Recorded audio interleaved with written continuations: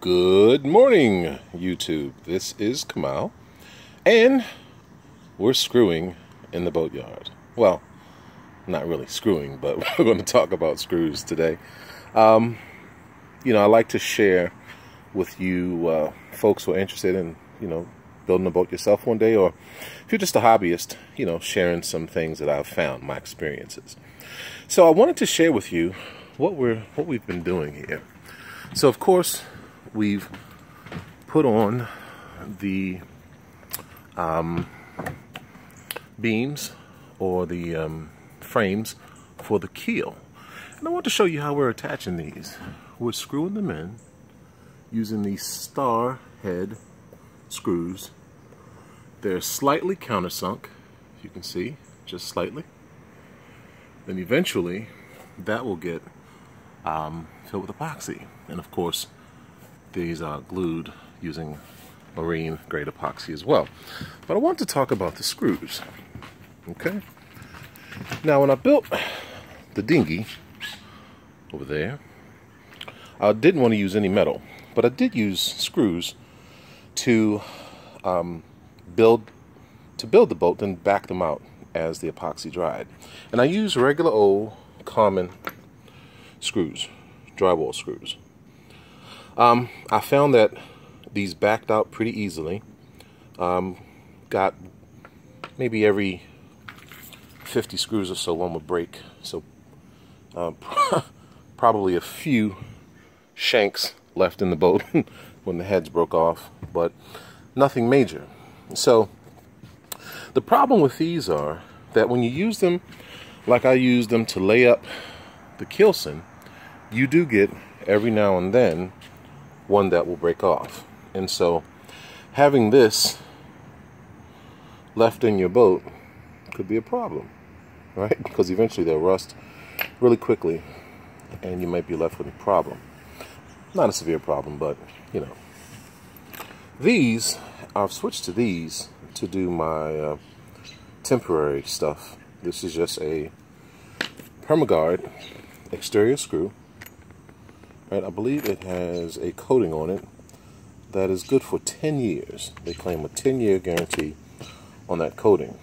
Okay, so we're using this now just to do regular construction stuff.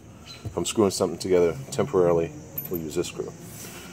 Now, the option was to use bronze, silica bronze screws or stainless steel for permanent screws. Those screws that are now on that are now permanent. So I wanted to step it up a little bit, but um, wanted to do a little bit better than this. And so I looked up these screws, and it's a lifetime guarantee for exterior use. Um, of course, we're not just dealing with exterior use, we're dealing with um, uh, sea, uh, an ocean environment potentially, or with seawater rather. And so the seawater presents uh, an entirely different thing. Um, can be a lot more corrosive than typical um, screws. So when I thought about using these versus silica bronze screws, this box is mm, 20 $25 maybe. This is a five pound box. Got it from the Home Depot. Nine by three screws, right? Start. So I had to think, what are my issues? Um, typically when you build a wooden boat, you're worried about screws that will be left exposed for a long period of time, the entire lifetime of the boat. It's not really what I'm building. So I thought about what's the real issue? What's the engineering problem? And the problem and concern is that if you have a screw in your boat, uh, if it fails, right? That's the number one issue. If the screw fails, what happens? Well, for me, if the screw fails, nothing happens because everything is epoxy together.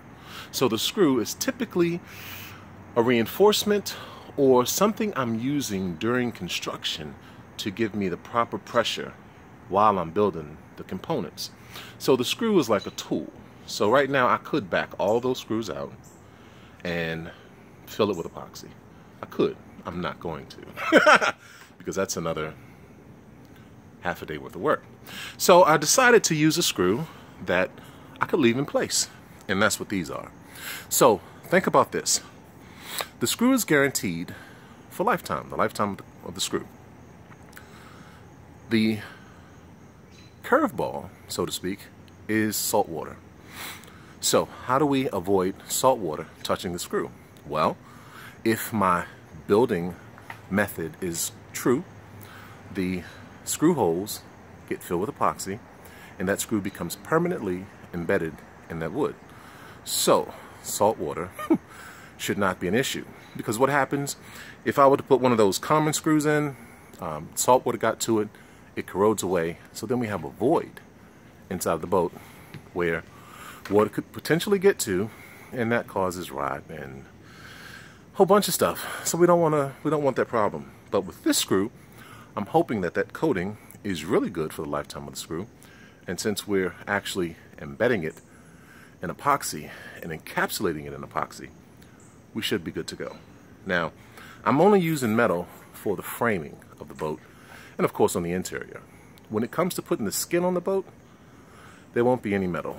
What I'm going to do is do like I did the dinghy, which is just use screws to hold the plywood in place until the epoxy dries.